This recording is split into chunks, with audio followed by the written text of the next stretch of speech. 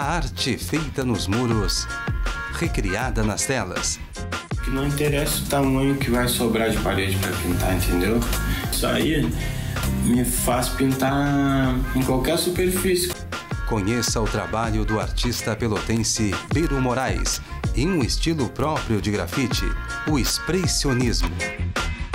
No Histórias do Sul, nesta terça, 11 da noite.